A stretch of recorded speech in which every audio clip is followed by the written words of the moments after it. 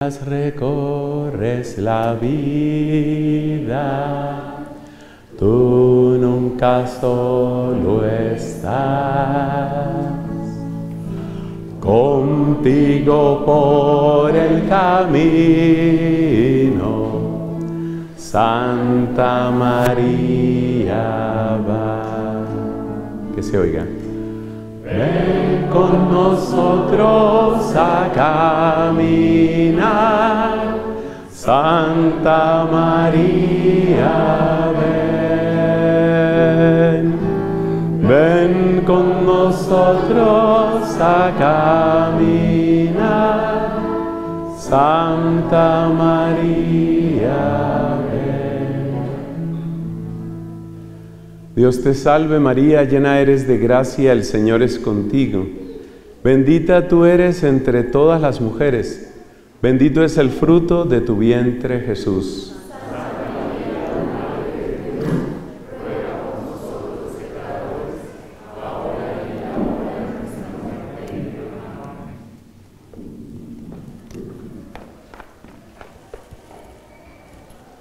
En el nombre del Padre y del Hijo y del Espíritu Santo. Amén. Pueden sentarse, por favor.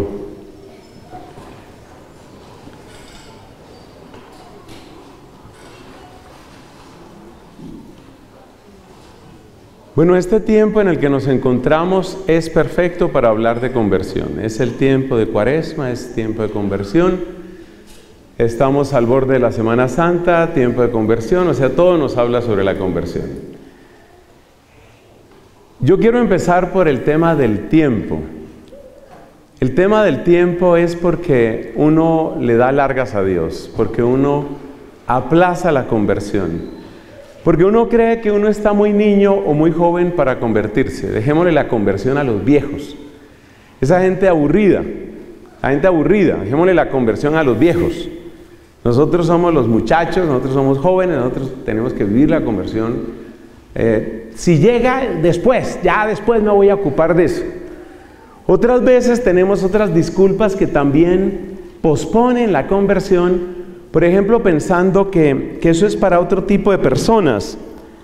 A veces los hombres, yo creo que eso está sucediendo un poquito menos ahora, pero a veces los hombres tomamos esa actitud, que eso tanta rezadera, eso es de las viejas, esas son las mujeres.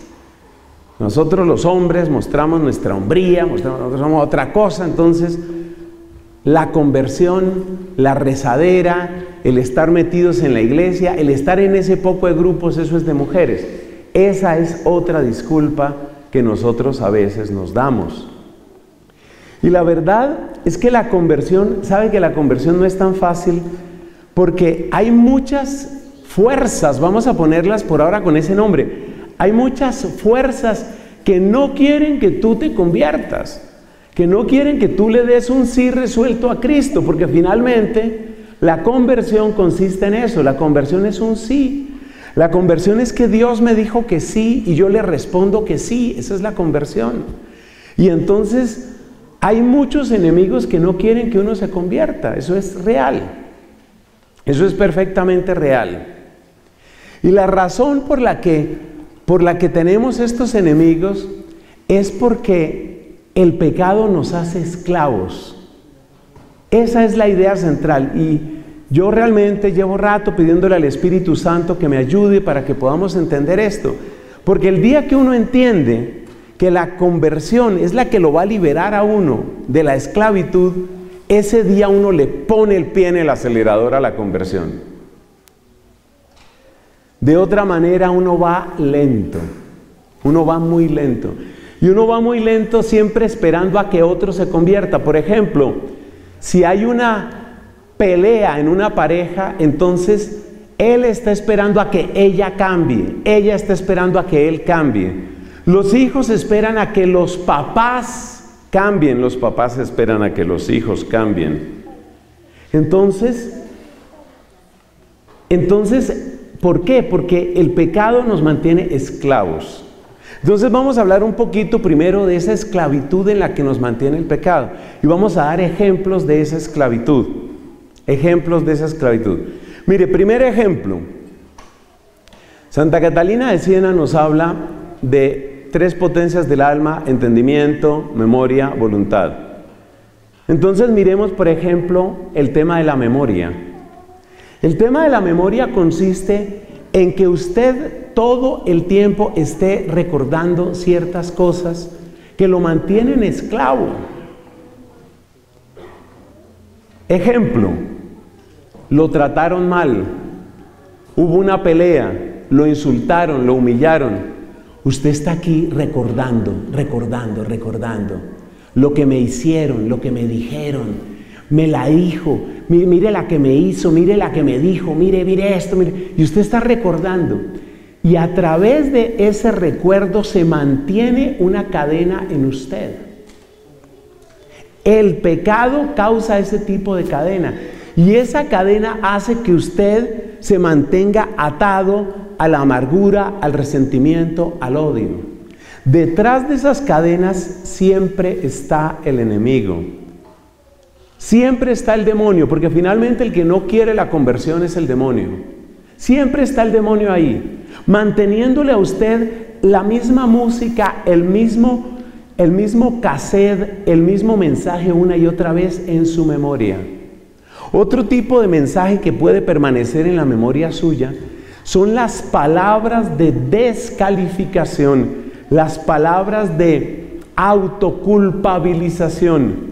Usted no sirve para nada. Tal vez en algún momento alguien le dijo a usted esa palabra. Usted no sirve para nada.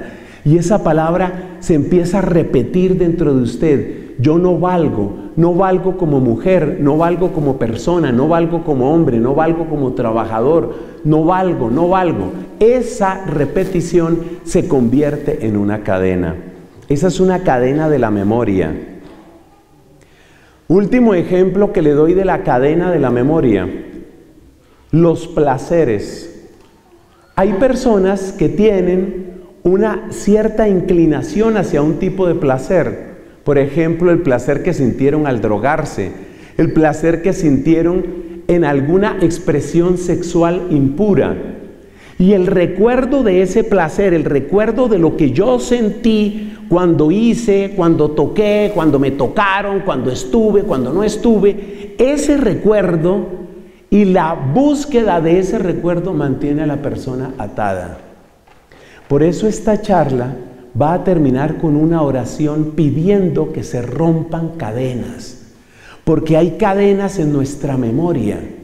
Tú no te puedes imaginar en este momento lo que sería tu mente libre de cadenas. No te lo puedes imaginar. Una mente libre de cadenas. Y fíjate que solo te da unos ejemplos. El ejemplo de la persona que se hunde en la baja autoestima. El ejemplo de la persona que se hunde en el resentimiento. El ejemplo de la persona que se hunde en el recuerdo de lo que sintió, de ese placer, de esa borrachera, de ese vicio, de ese sexo, de eso que sentí, lo que sentí, lo que sentí, lo quiero volver a sentir esclavitud, cadena. Por eso es muy importante rogar al Señor para que se rompan cadenas, porque esas cadenas nos retienen, son cadenas en nuestra memoria. Pero también hay cadenas en nuestra inteligencia. Usted se ha dado cuenta, por ejemplo, que hay personas que todo lo toman de una manera personal, cualquier cosa que oyen, eso lo dices por mí, ¿cierto? Eso lo dices por mí. Y todo es así personal y todo les da duro y todo les duele terriblemente. La persona todo lo interpreta de una manera equivocada. De nuevo, aquí no nos vamos a obsesionar con el demonio, pero el demonio está detrás de eso. Cuando usted ve que se perpetúan los malos entendidos dentro de una familia, dentro de un noviazgo, dentro de una pareja, normalmente sucede eso. ¿Qué? que tú dices una cosa y te entienden otra. Pero si yo estaba tratando de ayudarte, ¿qué ayudarme ni qué nada? ¿Ve? Le está entendiendo al revés. Todo lo que usted dice se lo está entendiendo al revés. Es decir, son deformaciones en la inteligencia, deformaciones en el entendimiento. Todo lo toma por el lado que no es. Usted ofrece una ayuda, ah, entonces ya me dijo que yo era incapaz. Yo no te estoy diciendo que eres incapaz, te estoy ofreciendo una ayuda. No ofrece la ayuda. Claro, como todo me toca solo, como todo me toca sola, Entonces la persona todo lo entiende mal, todo lo entiende al revés. Esa es una cadena en la inteligencia. Y te repito, no te imaginas lo que es, lo que será tu vida rompiéndose esas cadenas. Jesús decía, la lámpara de tu cuerpo es tu ojo, pero si tu ojo está a oscuras, ¿cuánta será tu oscuridad? Y ese ojo se refiere a muchas cosas según los distintos intérpretes. Una de los intérpretes o una de las interpretaciones es precisamente que hace alusión a la manera de entender las cosas. Y por eso te repito, hay personas que todo lo entienden de una manera así personal. Todo el mundo me está atacando. ¿Y usted por qué sacó esa predicación? Eso fue por mí, ¿cierto? Eso fue que le dijeron. Imagínate el infierno que viven muchas personas. Como dice una frase, las peores prisiones no son barrotes, son pensamientos, son recuerdos. Esas son las peores prisiones. Y hoy queremos clamarle al Señor por el poder de sus santas llagas. Queremos clamarle al Señor que rompa esas cadenas, esas cadenas. Entonces hemos visto cadenas de la memoria cuando usted está atado a vicios, a recuerdos, a placeres, a resentimientos, a amarguras, a lo que me hicieron. Cadenas del pensamiento cuando usted todo lo entiende al revés. También hay cadenas del afecto. Cadenas del afecto que son tal vez las más crueles. ¿Por qué las cadenas del afecto son tan difíciles? Porque resulta que nosotros no podemos vivir sin amor. Dios le decía a Santa Catalina, nuestra buena patrona y, doctora de la iglesia, Dios le decía a Santa Catalina, ustedes no pueden vivir sin amor porque yo el alma humana la hice de amor. Entonces lo único que se necesita para volver desgraciada la vida de una persona es que empiece a amar mal. Eso es lo único que se necesita. Si la persona empieza a amar mal, es decir, empieza a apegarse a lo que le hace daño o a separarse de lo que le hace bien, ¿qué será de esa vida? Dice Dios por boca del profeta, le dije, aquí estoy, aquí estoy a un pueblo que no quería venir a mí. Aquí estoy. Y Dios nos dice, aquí estoy. Y al último al que buscamos muchas veces es a Dios, es al último. Mientras tanto estamos, como dijo Dios por boca del profeta Jeremías, mientras tanto nosotros estamos en qué? Mientras tanto estamos bebiendo de cisternas agrietadas que no pueden retener el agua. Entonces hay cadenas en el afecto. Cuando usted siente que usted se apega a lo que le hace daño y que usted no se acerca a lo que le hace bien. Pero le voy a decir otra cosa. Es que no es solamente no es solamente el afecto de pareja. Usted no ha conocido el caso, seguro que sí, tal vez le ha pasado a usted mismo. Esa gente que parece que nunca escoge bien los amigos. Hace poco estaba hablando con un muchacho, me cayó tan bien, un muchacho con unos anhelos de servicio, con un recuerdo bello de su infancia piadosa, con deseo de ser sacerdote. Ya dos veces ha salido de seminarios o de comunidades religiosas. ¿Y sabes por qué ha salido? Por malas amistades. Uno escoge malas amistades muchas veces.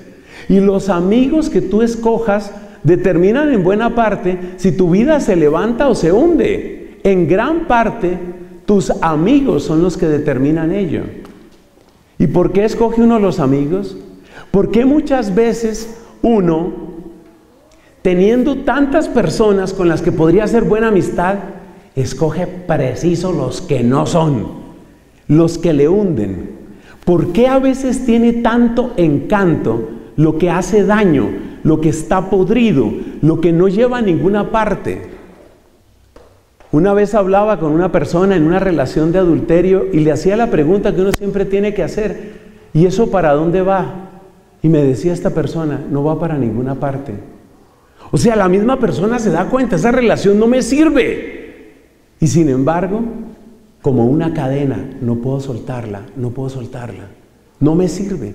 Y mientras tanto hay otras relaciones que serían muy positivas, de pareja o no de pareja, que serían muy positivas. Además, fíjate un detalle. Hay un detalle que es muy importante. Cuando hablemos de amor, por favor no se nos olviden los necesitados. El bien que se recibe acercándose al pobre, al migrante, al enfermo, al anciano, al minusválido, al discapacitado las bendiciones de Dios que están ahí. Y nosotros no tenemos tiempo para ellos. Porque creemos que nuestra vida va a ser más divertida manteniéndonos en, nuestra misma burbuja de afectos.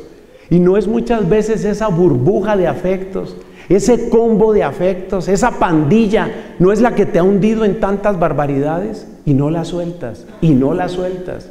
No sabes escoger las amistades. No sabes escoger la gente con la que tienes que estar. No la sabes escoger. ¿Por qué te resultan tan encantadoras esas personas que te hacen tanto daño? Y nunca tienes tiempo para servir al que es bendición de Dios.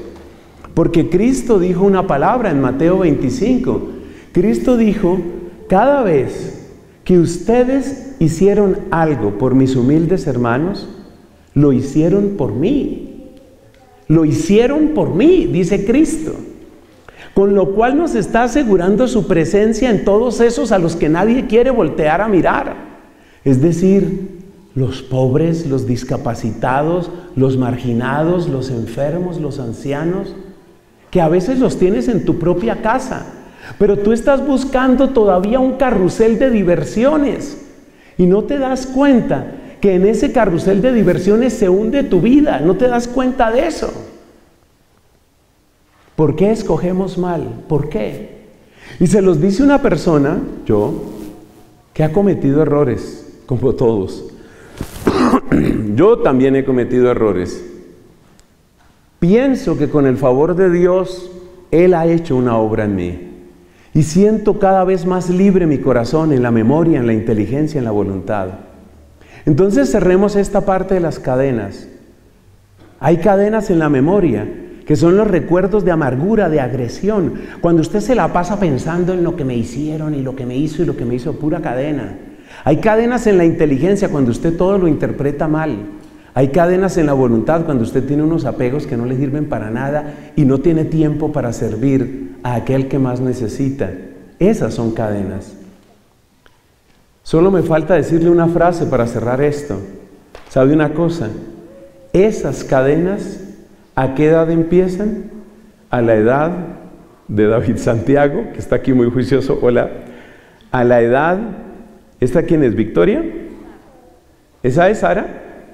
Sarita, Sara Daniela. A esa edad empiezan las cadenas. A esa edad.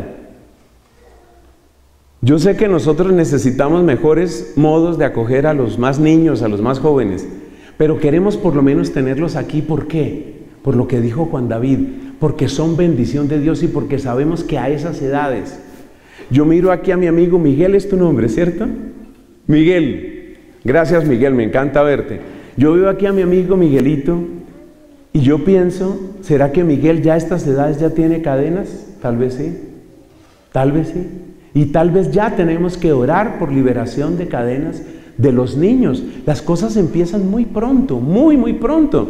Hay algunos predicadores muy buenos y yo creo que muy amorosos de la iglesia y muy pegados a la iglesia que nos dicen que las cadenas empiezan en el vientre materno. Entonces, las cadenas, cadenas de las que necesitamos liberarnos. Pero vamos avanzando. Ahora vamos a presentar algunos ejemplos bíblicos para que se vea en dónde terminan esas cadenas. Mira, mi primer ejemplo bíblico, eh, para los que están tomando apuntes, tomen nota de esta, de esta cita. Solo les doy el capítulo porque siempre me gusta que la gente lea el contexto. Mira, por favor, segundo libro de Samuel, capítulo 13. Atención, es lectura para adultos básicamente. Porque lo que se nos va a contar ahí es como dos medios hermanos, un hombre que se llamaba Amnón y una chica que se llamaba Tamar. Amnón y Tamar, era, ellos eran medios hermanos y resultan en una relación incestuosa. por las cadenas de las que estamos hablando. El que estaba obsesionado, pero obsesionado hasta la muerte, hasta enfermarse, era una obsesión sexual la que tenía. El que estaba obsesionado era Amnón. Amnón estaba obsesionado con su media hermana y no podía, y no podía sacudirse eso, y no podía quitarse eso. Finalmente se produce un desastre, un desastre espantoso. Ustedes ya se imaginarán de qué estoy hablando, pero el asunto incluye muerte. Hasta eso sucede. Ese es el resultado de las cadenas. Y por eso yo me guío por un gran predicador dominico del siglo XVI que se llama Fray Luis de Granada. Y le aprendí a Fray Luis de Granada esta frase que me encanta. Cada día que retrasas tu conversión es un día en que hunde más su tenaza el pecado en tu carne. La gente dice, no, después me convierto, después me convierto qué? Cada día que te aplazas, más se hunden las pinzas, más se hunde la tenaza en tu carne. Y eso fue lo que le pasó a Amnón. Amnón empezó sintiendo una especie de gusto que ya era un gusto puerco, era un gusto sucio, un gusto por su propia hermana. Empezó con ese gusto. Pero como muy bien enseña San Bernardo de Claraval, cuando las tentaciones no se atacan en sus raíces, siempre crecen. Y escriba esta frase que le conviene. El pecado nunca sale de buena gana del corazón, nunca. Al pecado siempre hay que echarlo, al pecado siempre hay que arrojarlo. El pecado nunca sale de buena gana, nunca. Porque el pecado tiene una misión que lograr en tu corazón y es que se te pudra la vida, que te hundas y que te condenes. Eso es lo que quiere el pecado. El pecado nunca sale de buena gana.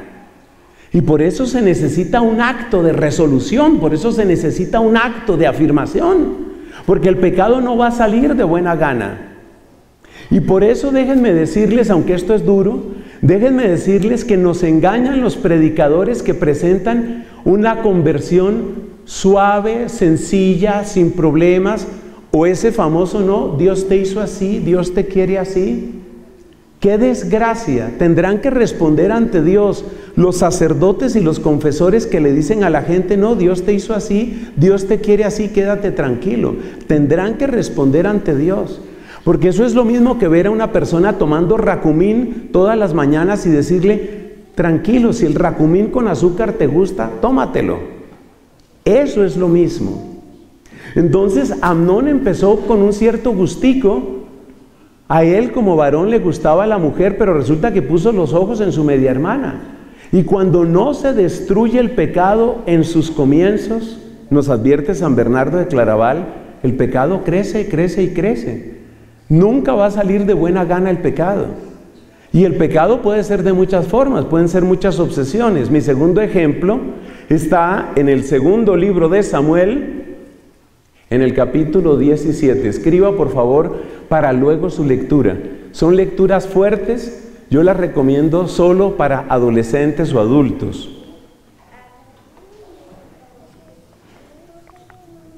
El segundo libro de Samuel, en el capítulo 17, nos presenta la conclusión de una historia sumamente turbia. Estoy mostrando con estos ejemplos bíblicos que las cadenas existen y que las historias acaban mal. Donde no se da conversión, la historia acaba mal. Segundo libro de Samuel capítulo 17 nos cuenta, entre otras cosas, la historia de un hombre que tenía, ya el nombre de él era horrible, el nombre es Agitofel, Agitofel. ¿Y sabes qué significa Agitofel en hebreo? Significa hermano de lo insípido, hermano de la nada. O sea, ya con ese nombre, yo no sé quién le puso ese nombre a alguien que le tenía rabia. Agitofel.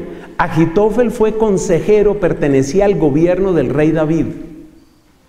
Segundo libro de Samuel, capítulo 17, Agitofel. ¿Sabe qué le pasó a Agitofel? Resulta que en vida del rey David, hacia el final de la vida del rey David, se levantó una rebelión contra él y el que capitaneaba la rebelión era Absalón, el propio hijo de David. Absalón. Agitofel era uno de esos hombres turbios que están mirando cuál es el sol que más alumbra. Y en algún momento Agitofel pensó que la suerte de David estaba perdida y que realmente Absalón era el que iba a salir ganador.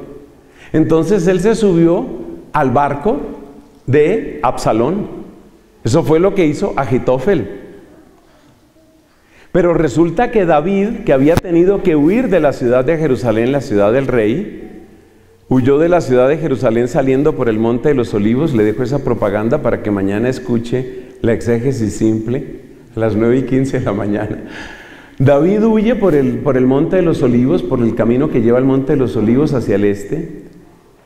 Pero David empezó a hacerse fuerte nuevamente.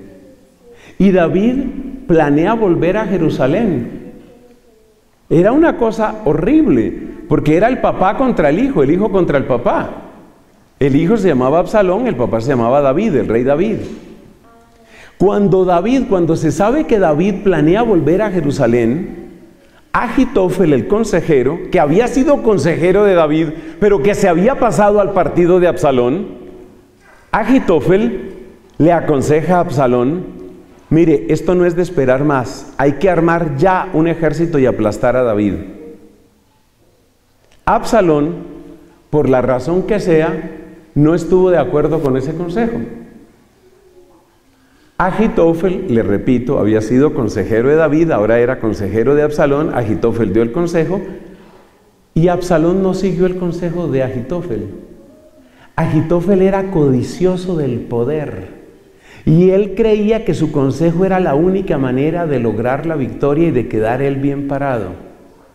Cuando él se dio cuenta que Absalón no tenía los pantalones o no tenía la resolución para salir a pelear contra David, se dio cuenta que el golpe de estado que había dado Absalón estaba condenado al fracaso y que él mismo, que había traicionado a David, no tenía ninguna esperanza. ¿Qué hizo Agitofel? Se fue a su ciudad y se suicidó. Ese fue el final de Agitofel. Muchos autores hacen la comparación entre Agitofel y Judas Iscariote. Es una historia dura, pero es una historia que enseña mucho. Ahí tienes a una persona obsesionada, ese es Agitofel, una persona obsesionada con el poder y una persona que estaba convencida de su astucia. ¿Qué peligro es? ¿Qué peligro por Dios? Qué peligro es confiar uno demasiado en su inteligencia. Creer que uno siempre va a encontrar la palabra para escaparse. Creer que uno siempre va a encontrar un camino, una salida. Eso no funciona. Y no le funcionó a Agitofel y acabó suicidándose. Hablemos de un último ejemplo y luego hablamos de las conversiones. Mi último ejemplo del Nuevo Testamento, a la historia de Judas Iscariote y su suicidio está en Mateo capítulo 27. Mi último ejemplo nos lo da el apóstol San Pablo en Romanos capítulo 7 al final, cuando él describe todo ese combate que muchas veces uno tiene dentro. Dice el apóstol San Pablo muchas veces hago lo que no quiero, ese combate que muchas veces tenemos adentro. Pero bueno, ahí termina la parte dura. Hablemos de lo que hace Dios. Hablemos de cómo Dios, el Señor, es capaz de cambiar corazones, es capaz de cambiar historias. Y nosotros aquí, en familia espiritual, estamos luchando para que las historias imposibles para el mundo, Dios las haga posibles y las haga victoria suya. Para eso estamos aquí. Quiero decirles que nosotros estamos aquí convencidos de que nuestro Dios es el Dios de los imposibles. Porque claro, cuando uno ve la historia de Agitofel, cuando uno ve la historia de Amnón y su media hermana Tamar, cuando uno ve esas historias, realmente uno se llena de tristeza, porque además la relaciona con tantas historias de fracaso que uno puede ver en esta tierra. Pero yo quiero contarte también del poder que tiene el amor de Dios el amor que revienta cadenas. Y para esto lo primero que te tengo que decir es que la situación tuya, con todo su drama, con todo su dolor, con todas sus preguntas, con toda su agonía, la situación tuya ya la conoce Dios. Es más, Dios, Dios es el que puede entender mejor lo que tú mismo no entiendes de ti. San Pablo preguntaba, ¿por qué hago lo que no quiero? ¿Por qué hago lo que no quiero? Pues bien, esa respuesta que muchas veces nosotros mismos no podemos darla. ¿Por qué no puedo arrancarme este odio? ¿Por qué no puedo sacar esta obsesión de mi cabeza? ¿Por qué no puedo cambiar este mal hábito? ¿Por qué no puedo desprenderme de tales o cuales personas? ¿Por qué no puedo emprender un camino nuevo? La explicación que tú no tienes, esa es la explicación que Dios sí tiene. No se nos olvide Jeremías capítulo 17. Nada más falso y enfermo que el corazón. ¿Quién lo entenderá? Y ese corazón es también tu corazón. Ese corazón también es el tuyo. Y la solución no es que un cura te diga, no hay problema, siga adelante. Sin dármelas de bueno porque no lo soy, pero tengo que hablar lo que dice el Evangelio. Hay de ese sacerdote a la hora de su muerte. Porque Dios nos ha dado a los sacerdotes los remedios, los antídotos, los bálsamos necesarios para ayudar a que se sane el pueblo. Es muy terrible, muy terrible. Si alguna vez un sacerdote, hoy me decía otra persona, me decía otro amigo, me decía, me da miedo confesarme, porque a veces voy a confesarme y el sacerdote me dice que no es pecado lo que yo digo. Por Dios santo, si Dios nos ha dado a nosotros los sacerdotes los antídotos, los remedios, los ungüentos para atacar la enfermedad. ¿Qué piensas de un médico que dice, esa enfermedad suya no se llama enfermedad, ese tumor suyo no se llama tumor y la persona muriéndose? Entonces yo con, estas palabras que ustedes se dan cuenta que las digo con el corazón desgarrado, les estoy pidiendo a que nunca dejen de orar por nosotros los sacerdotes, nunca dejen de hacerlo. ¿Por qué los sacerdotes se cansan de predicar lo que es? ¿Por qué? Porque uno se cansa de ir en contra de la corriente. Porque es difícil. Pero claro, es que esa es la vocación nuestra, es que eso es lo que uno tiene que ser como sacerdote. Como sacerdote uno tiene, y bueno, todo católico que sea consciente de su fe, uno tiene que ir muchas veces contra la corriente. Habrá momentos en que tu hijo o tu hija te dice, pues yo pienso distinto y esta es mi convicción y esto es lo que yo voy a hacer. Y habrá el momento en el que tú tienes que decirle a tu hijita muy amada, a tu hijito muy amado, tú eres mi hijo y yo te quiero, pero eso que estás haciendo, eso no es. Eso que estás diciendo, eso no es. Eso es verdaderamente amar a los hijos. O sea que no me echen por favor todo a los sacerdotes. Bueno, hablemos de lo que Dios hace en esas conversiones para pedir también por nuestra conversión. Mira, la conversión abre puertas. El subtítulo que le hemos puesto a esta predicación es Desbloquear el futuro. La conversión abre puertas. Ejemplos bíblicos. Dios, en la persona de su Hijo Jesucristo, llama al apóstol San Pedro. ¿Qué era Pedro? Pedro era pescador de peces entra en el camino del seguimiento de Cristo, que será siempre un camino de conversión permanente, ¿qué hace Cristo de Pedro? Pescador de hombres. Yo sé que tú tienes dones, ¿cierto? Tú tienes dones. ¿Tú te has preguntado para qué son? ¿Para qué son esos dones? Aquí todos queremos a Mariana Plata, que ahora no sé para dónde se nos fue otra vez. ¿Dónde está Marianita? Solo levanta la mano, no te va a hacer venir. ¿Dónde está mi amiga Mariana? Allá está. Mira, Dios le dio dones a esa niña, le dio dones a estos niños. Este David Santiago, ustedes se imaginan David Santiago lo que va a hacer, ay, qué tiempo David Santiago. ¿Para qué te dio Dios esos dones? A mí me llama la atención cómo una vez mi papá, que varios de ustedes conocieron, Chicho, le decíamos, una vez me decía Chicho, me dijo, menos mal Dios te llamó de sacerdote. Por ahí empieza el comentario. Menos mal. Y me dijo, si tú no estuvieras haciendo lo que haces como sacerdote, como mínimo estarías dirigiendo una célula guerrillera, como mínimo. Los dones que tú tienes o se convierten en una fuente de bondad a tu manera, porque no tenemos que repetirnos, o se convierten en una fuente de bondad o se convierten en una fuente de maldad. Así de sencillo. Entonces ahí es donde yo pienso, porque yo tampoco me imagino a la gente, yo no me ilusiono con la gente, ni conmigo trato de ilusionarme. Ahí es donde yo pienso, ya que hemos hablado de jóvenes, usted imagínese una Salomé mi amiga Salomé, ¿dónde está? Usted imagínese una Salomé llena de Dios. Llena de Dios no significa llena de aburrimiento. Llena de Dios significa llena de fuerza, llena de liderazgo, porque la mayor parte de nuestros adolescentes sabe de qué están sufriendo. Se llama cobardía. Y el miedo que yo tengo con mi amiga Dana Camila, ¿dije bien el nombre? El miedo que yo tengo con Mariana Plata, el miedo que yo tengo a veces con Majo, es que se nos vuelvan cobardes. ¿Cobardes cómo?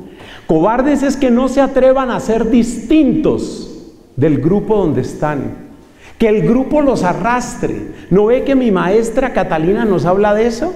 Nos habla de cómo el mundo lo va arrastrando a uno y todos tenemos que ser igual.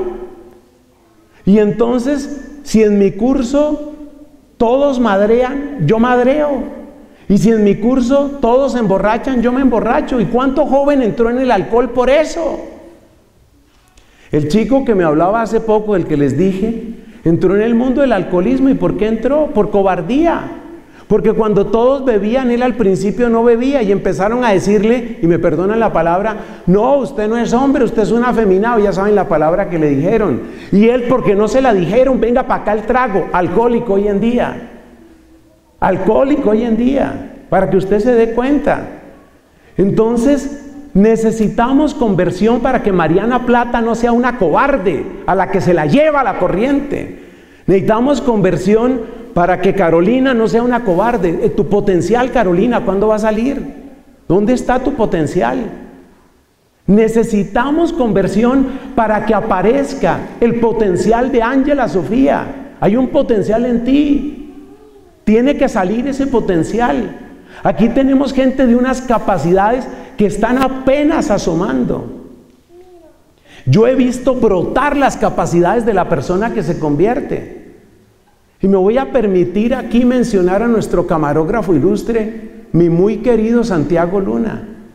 Varios de ustedes recuerdan cómo llegó Santiago Luna a familia espiritual. Y es un hombre que durante dos años llevó la gerencia de ministerios internos en familia espiritual. A la edad que tiene, se ve viejo, pero eso es ahí por lo flaco y feo. Pero, pero Santiago Luna es joven. Entonces, ¿tu potencial para cuánto, Mariana?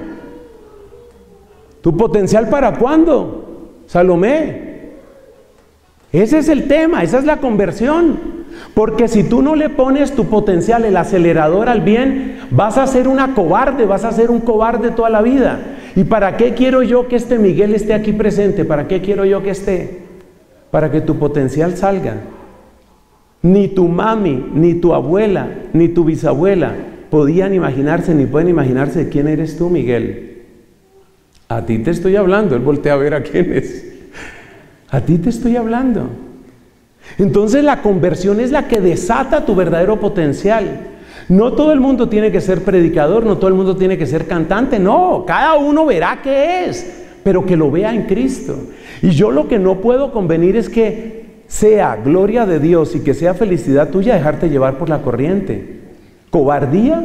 ¿Para cuándo la cobardía? Uno de los más pequeños asistentes de familia espiritual se llama Juan Francisco Leaño, aquí presente. Ese que tiene la camiseta de Colombia. Levántelo una gotica, por favor, para que lo vean. Ese se llama Juan Francisco, ese es. Ahí donde usted ve a Juan Francisco, ese chico ya tiene su temperamento, ese no se deja de cualquiera. Ahí donde usted lo ve.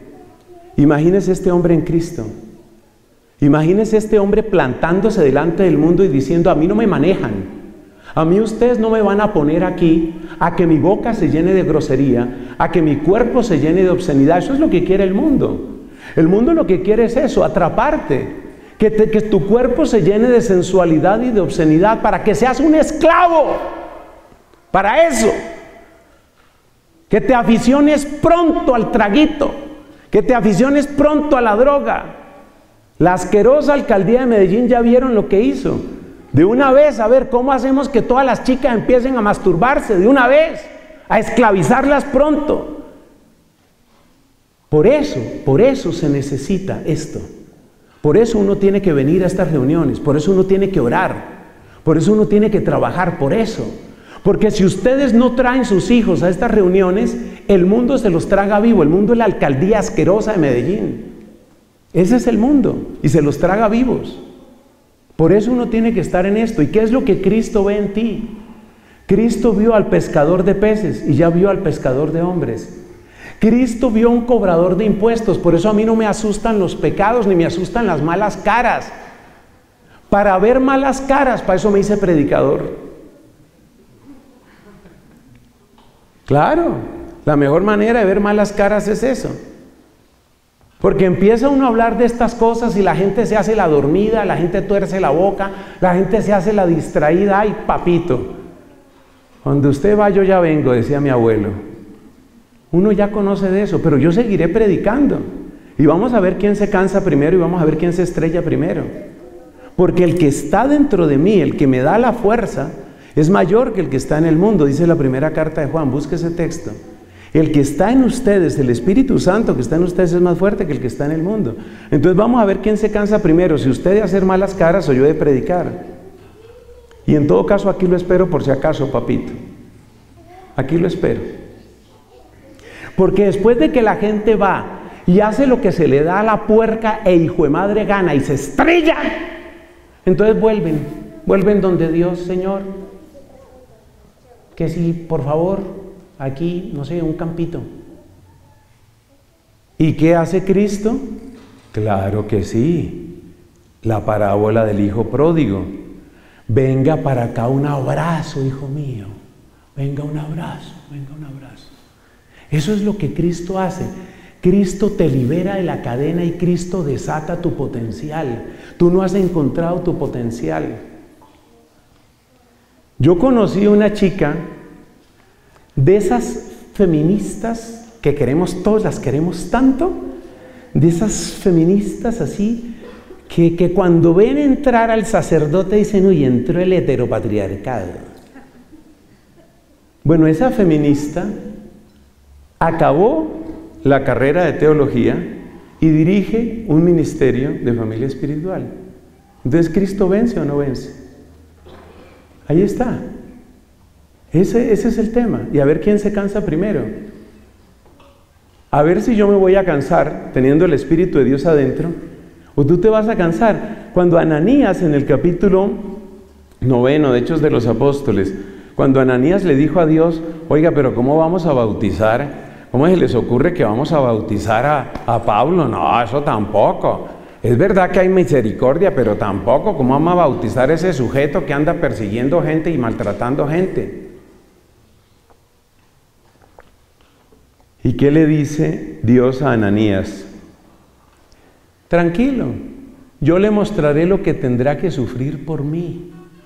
Tú que pones la cara de aburrido y de que no te importa, yo te veré llorando, como he visto llorar a la ex feminista porque se ofende la Eucaristía. ¿Sabían ustedes que las feministas pueden convertirse y llorar porque se ofende la Eucaristía? Cristo hace eso. Ese es Cristo. Ese es Jesucristo. Pero mientras no llegue la conversión no se desata tu potencial. Tu potencial lo desata la conversión porque tú no sabes lo que eres y el demonio quiere que tú no lo sepas. Que tú estés aturdido, que tú estés enseguecido y con los ojos, los ojos tapados. Oiga mis ojos, ¿no? Entonces, ¿cómo es? Ojos, a ver, ubíquese Nelson. Ojos, oídos, oídos, ojos. Ahora sí, con los oídos tapados, ¿Se acuerda Hechos de los Apóstoles capítulo 7 cuando mataron a Esteban? Esteban empieza a hablarles con poder del Espíritu Santo y les dice, mire, esto es así, y esto es así, y esto es así. Y como dice el dicho, pa más piedra, les termina diciendo, ustedes siempre han resistido al Espíritu Santo, no aguantaron más. Y dice, tapándose los oídos y gritando, se lo llevaron afuera para matarlo a piedra.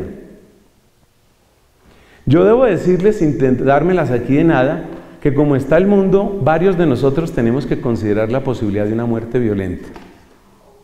¿Cierto? Sin dárnoslas aquí de nada y sin... Pero eso hay que considerarlo posible, como está el mundo. Porque la persecución ya empezó, empezó hace rato, y ahí es donde yo quiero saber qué lugar va a tomar Alba María, yo quiero saber Alba María qué lugar va a tomar, yo quiero saber Miguel qué lugar va a tomar, qué lado va a tomar. Eso hay que saberlo, cuál es el lado que tú vas a tomar. Agitófel escogió mal, porque escogió pensando solo en sí mismo. Él dijo, entre David y Absalón, es verdad que David tiene la bendición de Dios, pero Absalón tiene más ejército, me quedo con Absalón. Perdió. ¿Y qué hizo? Ahorcarse. De hecho, él se ahorcó como Judas Iscariote. Entonces Dios es el que puede desatar tu potencial. ¿Quién iba a pensar que el apóstol y evangelista Mateo durante un tiempo cobraba impuestos para el imperio romano? Él estaba al servicio de los romanos. Y de allá lo sacó mi Dios. Dígame si eso no es bello. Eso es hermosísimo. Dios tiene ese poder, Dios tiene ese potencial. Entonces yo miro, por ejemplo, a esta pareja que quiero tanto, Claudita, Hugo, que desde aquí los saludo con cariño. Mire, nos hemos ido conociendo centímetro a centímetro con ustedes, pero yo digo, todo lo que Dios pensará para Claudia y Hugo. Porque es que los planes de Dios no son solo para las personas, son planes para las parejas también. Aquí hay parejas. Y por eso a nosotros nos encanta que la gente viva su noviazgo. Por supuesto, un noviazgo hermoso, un noviazgo limpio, un noviazgo transparente, público. Por ahí vi que estaba mi amigo Camilo. ¿Dónde estaba Camilo? Camilo y quién? Y Natalia, ahí está, ahí están. Mire, Levanten la mano que los vean un momentico. Aquí no se necesita tener penas. Miren, Dios tiene un plan para esa pareja. Para esa pareja tiene un plan. Yo no sé si ellos ya lo descubrieron o no, pero Dios tiene un plan para ellos. Entonces yo te estoy invitando hoy a que te conviertas para que se desate tu potencial. El Papa Francisco en Evangelii Gaudium habla de la tristeza del que no sale de sí. Ustedes se cuenta que toda persona egoísta, poco a poco va perdiendo el lenguaje. ¿Por qué pierde el lenguaje? Porque va reemplazando las palabras por gruñidos. Ah, ah. Todo le fastidia, todo le hiede, todo le incomoda. El Papa Francisco lo describe perfectamente en Evangelii Gaudium, en el gozo del Evangelio. La persona que gira sobre sí misma ¿Qué le va a pasar? Pues todos los de niños jugamos a eso, ¿cierto? Uno daba vueltas y vueltas y ¿qué le pasa? Se marea y se cae. Sal de ti misma, aprende a servir. Y ahí viene el tema, ¿servir a quién? Pues escojamos como escogió Francisco de Borja, como escogió Francisco Javier, como escogió Ignacio de Loyola. Servir al que no se muere servir al eterno. Otros escogen servir una causa, la filosofía, la ecología. Voy a entregar mi vida por los nidos de las alondras. Bueno, bueno, eso fue lo que encontró esa persona.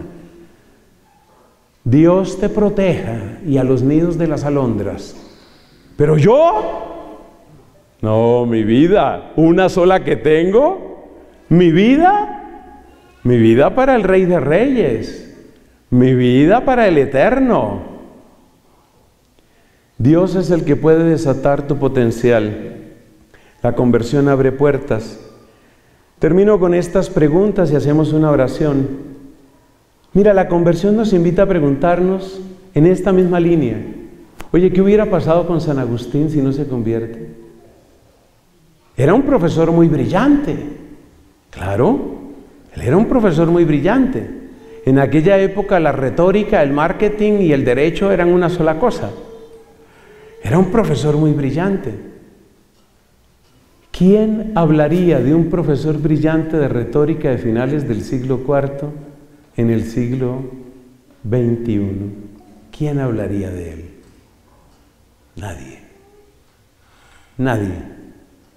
Ignacio Loyola era un soldado brillante, brillante, arrojado, valiente, como muchos. ¿Quién hizo que Ignacio llegara a ser Ignacio? Cristo. Cristo. Lo mejor de ti está a punto de despertar. Lo mejor de ti. Si no me quieres poner cuidado hoy, tranquilo, no nos afanemos, no peleemos, ¿para qué vamos a pelear? Pelear es perder el tiempo, no nos afanemos, solo te digo, aquí te espero, aquí te espero. A ver si te cansas tú primero o me canso yo primero. Hace poquito celebré 30 años de sacerdocio y yo empecé a dar cursos y presencia en la radio hace 33 años. Ustedes me ven lo cansado que estoy, ¿cierto? Me ven como estoy cansado, agotado, a punto de tirar la toalla, ¿cierto? ¿Sí me ven la cara de derrotado que tengo? Entonces vamos a ver quién se cansa primero. Mientras Dios me dé vida, como me decía hace poco una amiga con la que estábamos haciendo oración y que está por aquí presente y que Dios te bendiga, me decía ella, yo ya le dije a mi Señor, moriré con las botas puestas. Yo le quiero decir a esa amiga que está hoy aquí, yo también quiero morir con las botas puestas y a ver quién se cansa primero. ¿Qué hubiera sucedido con San Agustín sin Cristo? ¿Qué hubiera sucedido de San Ignacio sin Cristo? ¿Qué hubiera sucedido de ellos? Lo realmente grande, lo realmente bello, lo que dura, lo que perdura, lo tienes en Cristo. Y cuando aplazas a Cristo, aplazas la mejor hora de tu vida.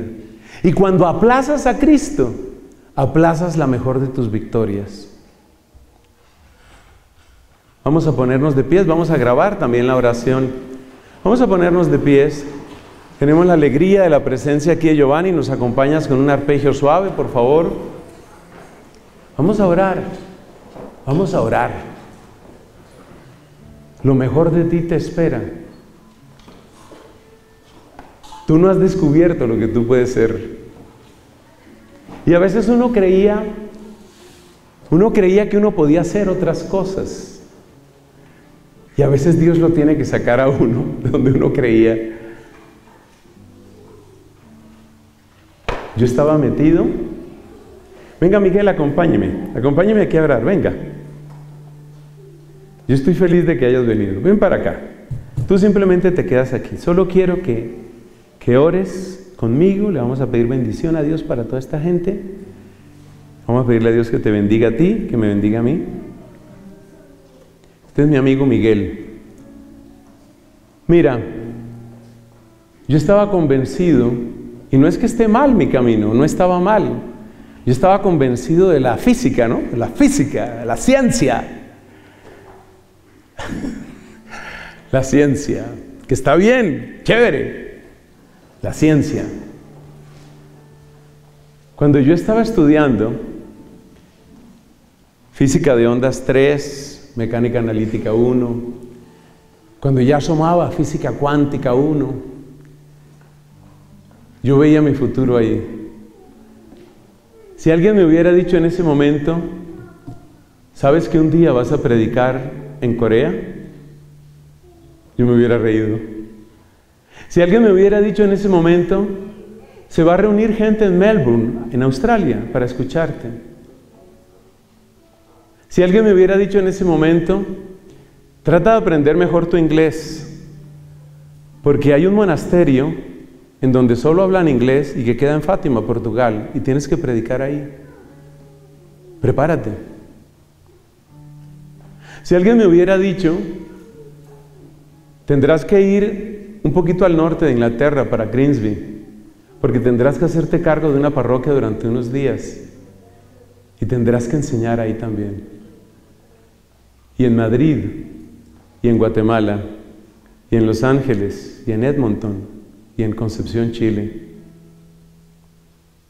Si tú me preguntas a mí, míralo desde un punto de vista puramente humano. Yo he viajado más que mucha gente.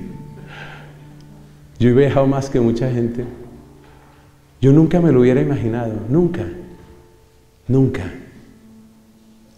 Tú no tienes idea del futuro que Dios tiene para ti, no tienes idea. Tú tampoco. arriesgate, arriesgate a creer. Arriesgate a decirle sí a Cristo. Pero no para viajar, porque no todo el mundo viaja. Además te va a sonar la frase más pedante, pero yo tengo pereza de viajar. Yo no quiero viajar más. Pero ya me toca otra vez. Jesús, hemos estado enseguecidos. Jesús, alguien nos tapó los ojos. Jesús, la corriente nos está llevando. Jesús, vivimos distraídos. Y lo más grande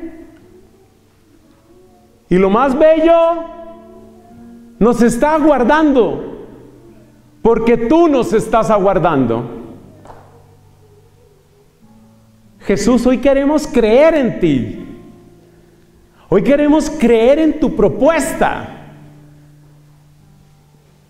El mundo nos dice la religión va a ser aburrida. Cuando completé el primer millón de millas viajando, porque tengo mucho más de un millón, voy para dos millones de millas viajando. Cuando completé el primer millón de millas viajando, y yo miraba el certificado que me dio la aerolínea, yo decía, sí, sí, es muy aburrido ser evangelizador. El mundo nos quiere decir que es aburrido.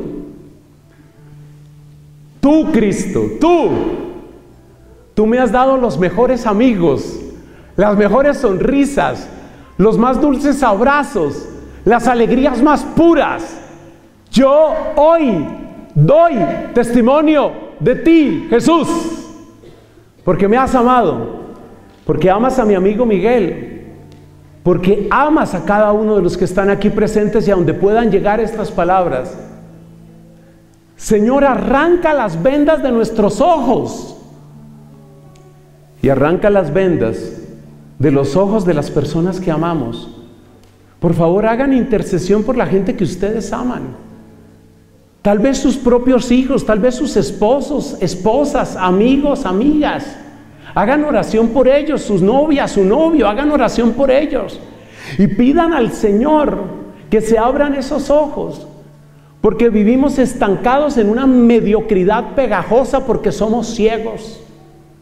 Cristo desata, desata la venda. Cristo libera a tu pueblo. Cristo bendice, bendice y llena de tu amor a cada uno de los aquí presentes. Te amamos Jesús. Te amamos Jesús. El día más hermoso, el día más importante de mi vida fue el día que entendí que no hay nada más grande ni más bello que decirte sí. Claro, la cruz llega, la sangre brota y uno llora y se cansa. Pero ya no llora solo, ya no se cansa solo. Ya la victoria está. La gloria para ti. Bendíceme a este pueblo, Señor. Bendíceme a este pueblo. ¿Tú eres bautizado, Miguel? No sabes si es bautizado. Dios mío. Si es bautizado. Dice que sí, la mamá. A ver, Miguel, no tenga miedo. Usted levante su manito, suelte. Suelte la manito. Levante la manito. Así. Eso. Mantenga la manito así. Usted es bautizado. Usted me ayuda a bendecir a esa gente. Mantenga la manito así.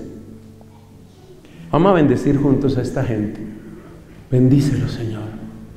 Bendícelos, bendícelos Señor, y llena de tu amor a tu pueblo.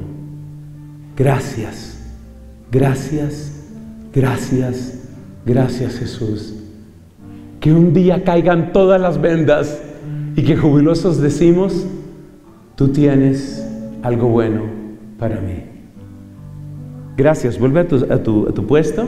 Vamos a cantar, tú tienes algo bueno para mí, que por algo lo estábamos cantando hoy. Tú tienes algo bueno para mí.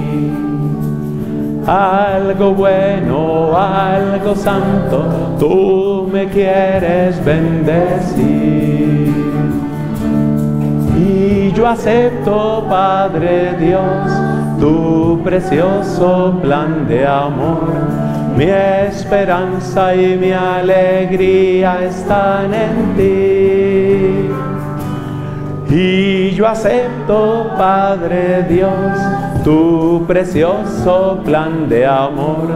Mi esperanza y mi alegría están en ti. A ver a quien está llevando el ritmo un poquito más rápido, a ver cómo suena eso. Tú tienes algo bueno para mí.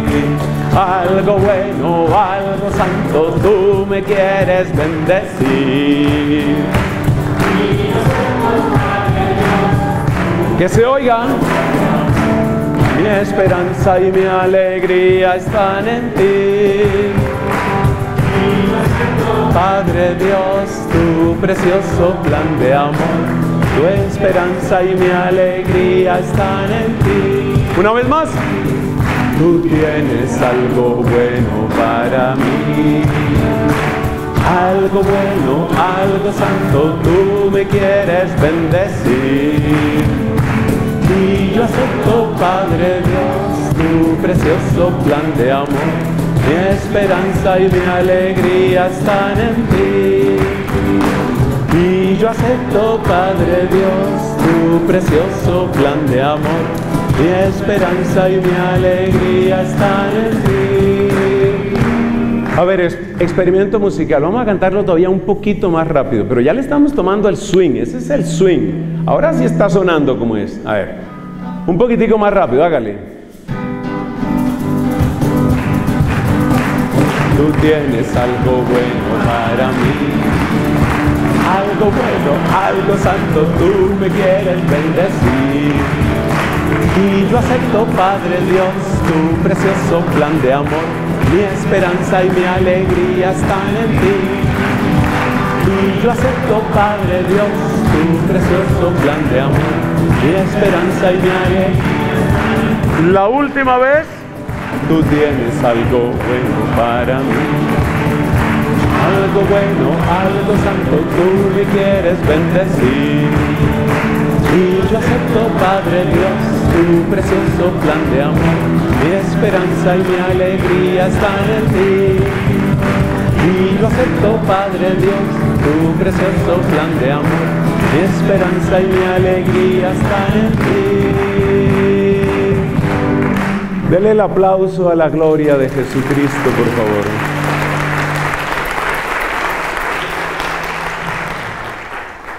favor.